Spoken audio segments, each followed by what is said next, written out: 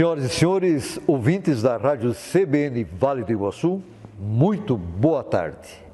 A Central Brasileira de Notícias Entrevista tem a satisfação de conversar com o empresário formado em Direito pela Universidade do Contestado de Porto União, o senhor Maurício Roberto Gol. Ele é um garimpeiro apaixonado pelos raros carros clássicos da Dodge Chrysler. Afinal, ele tem a prática do antigo mobilismo. Meu caro colecionador, senhor Maurício Roberto Gol, muito boa tarde e seja muito bem-vindo à CBN Entrevista. Notei que o senhor é um homem de bom gosto. Muito obrigado, professor. Boa tarde a todos os ouvintes da Rádio CBN.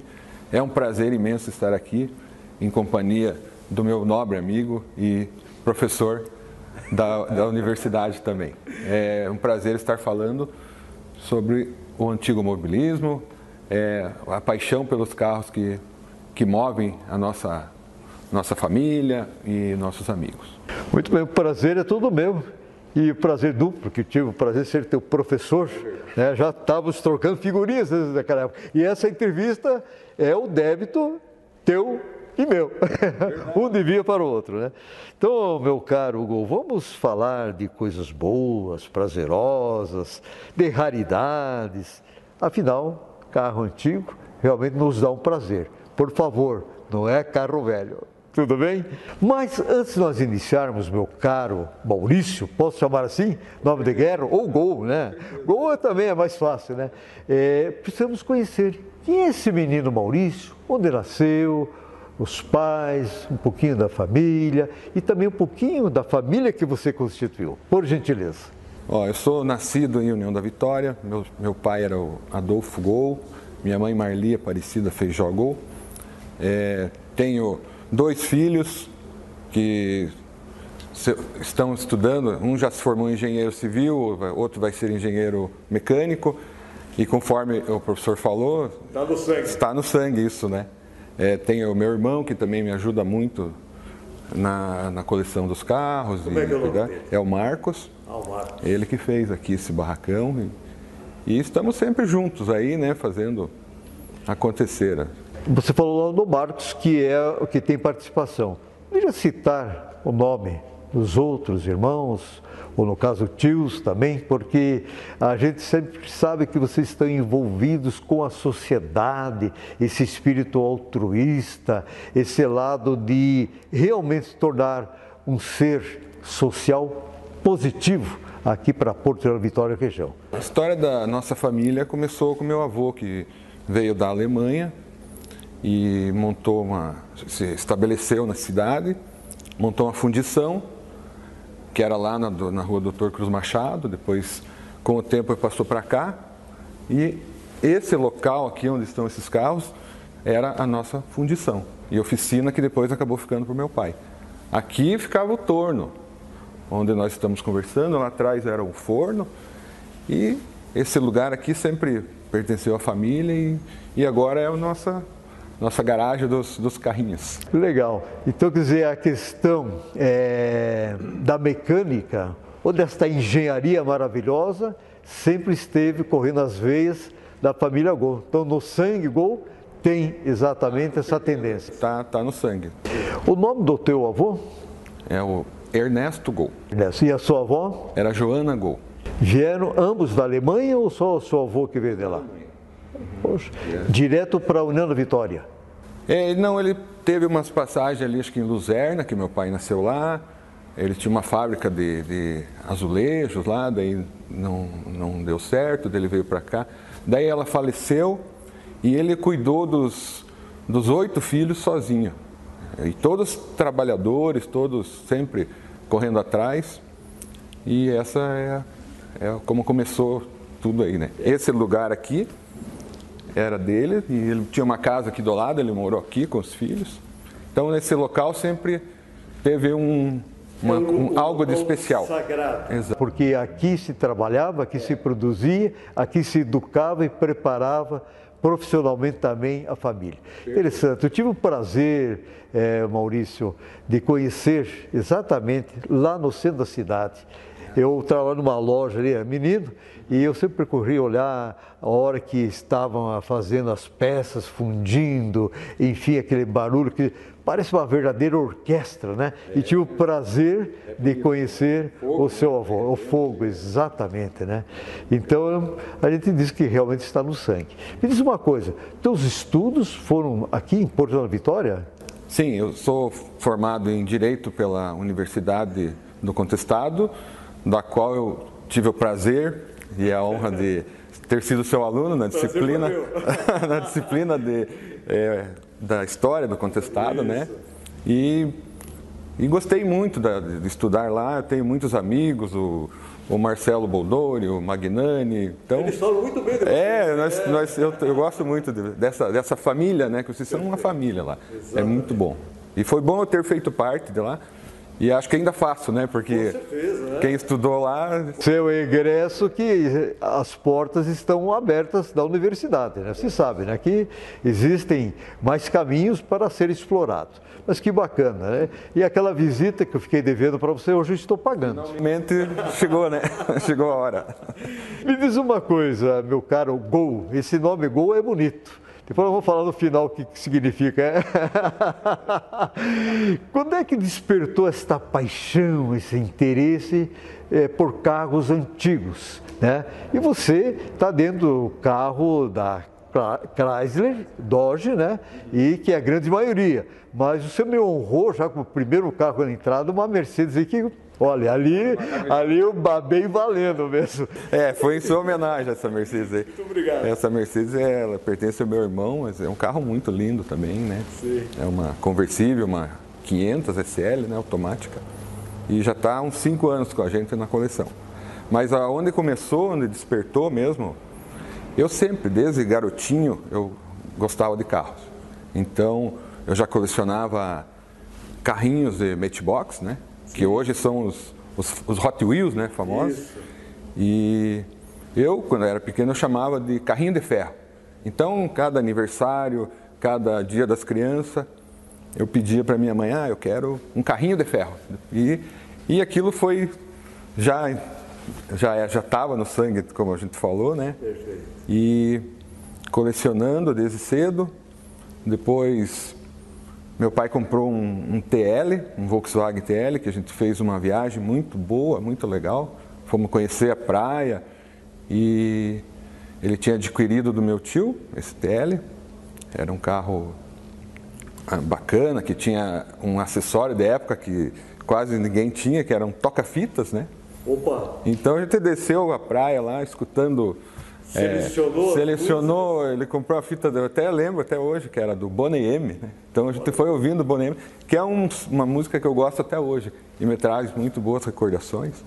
Poxa. Depois o meu tio é, comprou um Dodge, um Charger vermelho, 73, o tio Luiz Gonzaga Feijó, né? conhecido também. E quando eu vi aquele carro ali, parou tudo, né? Você, meu Deus, esse Aí carro. Deu uma luz. Ali começou a paixão, porque era um carro vermelho com capota preta. Eu chamava capota preta. Hoje eu sei que é, é teto de vinil, né? Perfeito. E esse carro marcou. Eu sempre pensei, um dia eu vou ter um dojão. E graças a Deus deu tudo certo. Hoje nós temos alguns Dodges aí que foram adquiridos numa época que ninguém queria.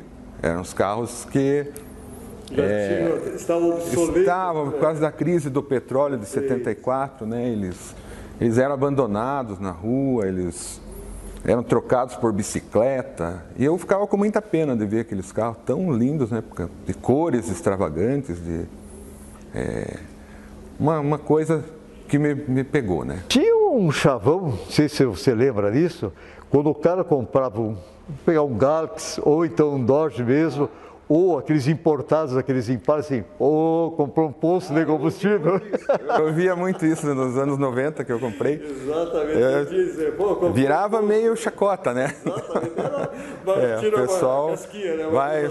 vai ter que comprar um posto e agora, né? Verdade. Interessante. E o que, que você quer com esse carro aí, né? tá louco? Exato. Não tinha muita peça, mas a gente insistiu e, Perfeito. e valeu a pena, né? Com certeza. Não fiz nada assim premeditadamente, pensando em. E ser um colecionador. Foi de maneira assim bem natural. Verdade. Que na verdade a gente já tem na cabeça o que a gente quer, mas a gente sempre vê a realidade, né? Será que eu posso, não posso? Quando você vê de repente está né, tá realizando aquele sonho. É, não foi especulação, foi apenas um, um hobby ali, uma, uma paixão. Que... Um processo natural e que você acabou realizando um grande sonho, né? Sim. Bacana. Meu caro Maurício, todo cara que é um apaixonado pelo antigo mobilismo, carros antigos, vamos deixar claro, pelo amor de Deus, tire fora, carro velho você já sabe, você já está fazendo a leitura, pelo amor de Deus, tira isso fora. Mas sempre existe na cabeça da pessoa, pô, ainda eu quero ter o modelo tal, ano tal. Existe esse pensamento? Por gentileza. É, o pessoal que, que está no, no- nesse mundo do carro antigo nunca está satisfeito, né? Sempre quer mais um. Pode ter 10, 15 que. Se perguntar por que você Não, não, não tem muita explicação, né? Tem, sempre tem um carro especial. Eu já imaginei um, um Charger americano, um, de repente um Impala conversível. Perfeito. É, Eu gosto dos carros grandes, né? Dessas, dos anos 70. Cadillac, de repente, mas daí já é um pouco demais. É, exato, uma coisa bem ostentosa, né? Sim, sim. Mas eu acho que, que seria isso, ou vendo depois do, do convite que eu recebi para fazer isso aqui, que eu fui falar do, do TL do, do meu pai, Perfeito. acho que agora me colocou uma, uma pulguinha aqui, de repente eu vou, vou- vou acabar indo atrás de um TLinho. Onde tudo começou. Mas deu um insight aqui. Exatamente. Olha só que bacana. Saudade do, Não vou ter que cobrar a taxa da ideia. Carmanguia. Se você souber de algum, me avisa. Atenção, atenção, pessoal, que frequenta algumas garagens aí que estão fechadas há anos. Avise o Maurício ou o senhor Luísio. Ah, podemos ser sócio, por que não, né? Ele vai estar num bom lugar aqui. Pode guardar, ó, nesse lugar aí mesmo. Muito bem. Caro Gol, é interessante. O pessoal diz, é, tem esses carros velhos aí, só dá despesa. Então eu vou te perguntar, é um alto investimento que você faz para manter os carros? Ou esses carros se tornam um grande investimento? Você veja, são duas perguntas sentido para responder aqueles curiosos que às vezes não sabem que a gente adapta tantas peças, né? Se eles soubessem o segredo de correr atrás, talvez não pensaria assim. Acredito que as duas coisas, né? É, é um. custam, né? Um pouco, mas. E se você investir no carro certo, daí não, não vai ter problemas, né? De repente, te- optar por as, pela, pelos esportivos, aqueles clássicos assim, se torna uma, uma opção mais certa.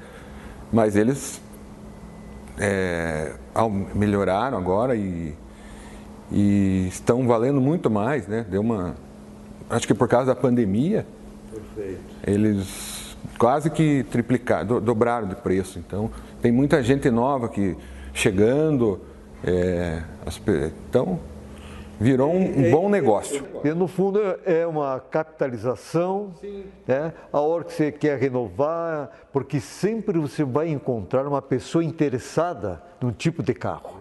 né? E se você está com o carro ali, e a proposta que. Eu sabe que eu tenho alguns pé de bode lá, alguns carrinhos também antigos, né? E o pessoal chega e fala, professor, quanto? Eu digo, olha, não estou vendendo. Faça a tua proposta, quem sabe vai me interessar. Né? Então você, é o cara que quer, ele vai, ele abre mão. número certo. Exatamente.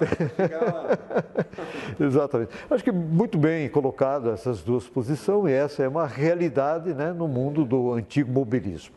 E falar em mundo do antigo mobilismo, e você falou que eh, não é uma febre, isso não é uma febre, mas a gente sabe que através de muitos programas, até a televisão, programas internacionais, mostrando aquelas garagens, né, carros abandonados, e nós percebemos que é como a sua pessoa. Acabou motivando, e tantos outros clubes que temos aqui também, é, acabaram motivando a nossa população. E é a pergunta que eu te faço, meu caro Gol. É, nossa cidade realmente está com um movimento muito bom né, de recuperar os carros, de manter os carros que já existem, não só Porto da Vitória, mas a região.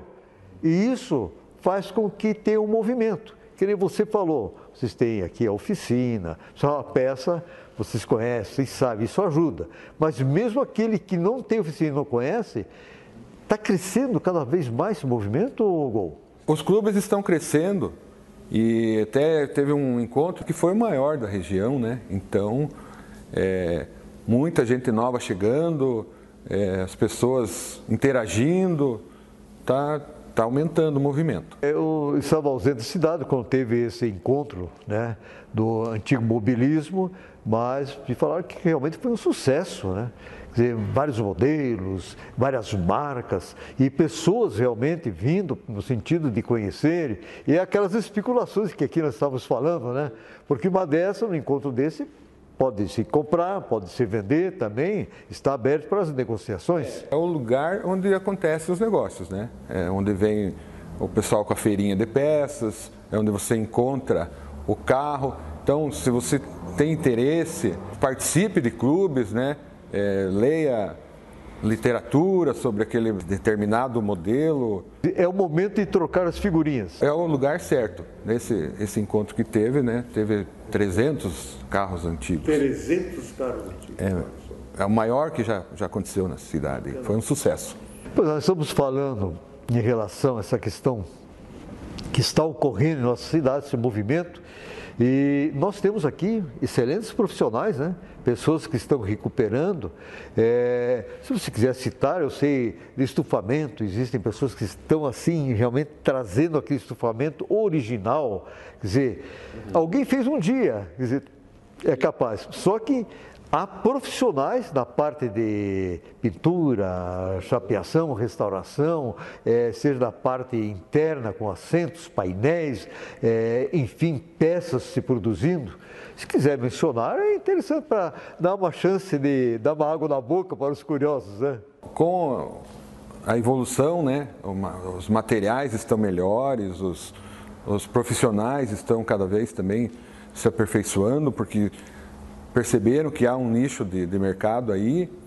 É, eu tenho algumas pessoas que trabalham junto, que são parceiros há muitos anos. Eu posso citar o tapeceiro, o Luciano Maros, que faz um serviço excelente, né?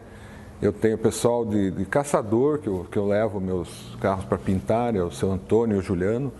Então, já faz anos que nós trabalhamos juntos. São, são parceiros, assim, que, que vale a pena a gente mencionar para dizer àqueles que realmente querem, existe um suporte, né, uma logística, vamos dizer assim, possível para essa manutenção. Os restaurados de hoje têm pintura melhor do que quando eram novos na fábrica, por causa da, da qualidade né, do material que tem é. hoje. Tecnicamente as coisas né, evoluíram, né? então fica melhor que o zero da época. Muito bem. É, aqui nós temos muitas pessoas com garagens, que trabalham em diversos setores da sociedade, mas é um hobby, né? né? Fazer o Josney Bogdan, eu conheço ah, também. também. Ele é o motorista oficial da Chimbica lá, ah, é, é. nos desfiles lá. É, ele que é o motorista oficial, né? Eu tenho muitos amigos assim também, o Luciano Linhares, que também tem Doge, o Jorge, o Jorge Mucinelli, o meu irmão que também tem, tem Maverick, Doge, Perfeito. sabe? Nós temos uma, uma turminha legal, assim, uma, uma equipe boa. Assim. encontro, troca de segurança. Ah, estamos sempre reunidos e fazendo um churrasquinho. Não é por causa do churrasco, por causa dos carros. Mas o churrasco e a cerveja entra, né? Bem legal. Meu caro Gol, me diz uma coisa. Essa questão de se fazer esse tipo de atividade, de, do antigo mobilismo, as pessoas realmente nos interessando cada vez mais não atrai uma questão turística para Porto Leão, Vitória região? Sua opinião? Ah, com certeza atrai, professor. É, nesse encontro que teve há 10 dias atrás ali na praça, tinha gente de Canoinhas, de Caçador, de São Mateus do Sul, até de São Paulo, Tinha um rapaz que veio com um carro lá, um Porsche. Então, isso movimentou, não tinha lugar para nenhum carro mais estacionar. É, o comércio ali, lanchonetes, tudo. Foi uma coisa muito boa para atrair turismo mesmo. Então, aí nós chamamos a atenção em relação a Porto União da Vitória, né, a questão da quem zela pelo turismo, cultura e turismo. Observe, né, de repente, as duas cidades se organizam. Eu sempre falo, somos cidades irmãs e é preciso bater nessa tecla. São administração, administrações independentes, mas nós temos muita coisa aqui em comum. Né? Aqui não existe divisa de cidade. União da Vitória. Né? Exatamente. Então, se nós estamos unidos na Porto da União, da, da Vitória, com certeza. Né? Exato. Questão, né? então, nós temos. É, para nós é tudo igual, né? Então, nós temos que realmente pensar dentro de um turismo do antigo mobilismo. Está aí lançado através de você e da minha pessoa esse, esta reflexão para secretarias de turismo. Senhor Gol, seu sobrenome tem um significado de alegria e de vitória, principalmente na prática do esporte futebol. E o Senhor conseguiu transferir toda essa questão da vitória, de ser um vencedor, para o antigo mobilismo. E quero aqui lhe dizer que foi muito produtivo falar contigo e em nome de toda a nossa equipe da CBN, agradecemos sua excelente participação e, por gentileza, nos deixe uma mensagem aos nossos ouvintes da CBN. Ah, obrigado, professor. É, a mensagem que eu posso dizer aos telespectadores é que se você tem um sonho, corra atrás, não desista. Se é um carro antigo, se prepare, é, guarde um dinheirinho. Se não tem, faça um consórcio, ache uma maneira, porque o carro vai aparecer e você vai ter que estar preparado para isso. Guardar um dinheirinho embaixo do colchão lá, combinar com a, com a esposa, com a namorada e, e é por aí, né? Realiza Agradecer, o sonho, né? realizar o sonho. Agradeço. Senhoras e senhores, CBN Entrevista retorna quarta-feira que vem, às 14 horas e 30 minutos, com mais um convidado. Até lá!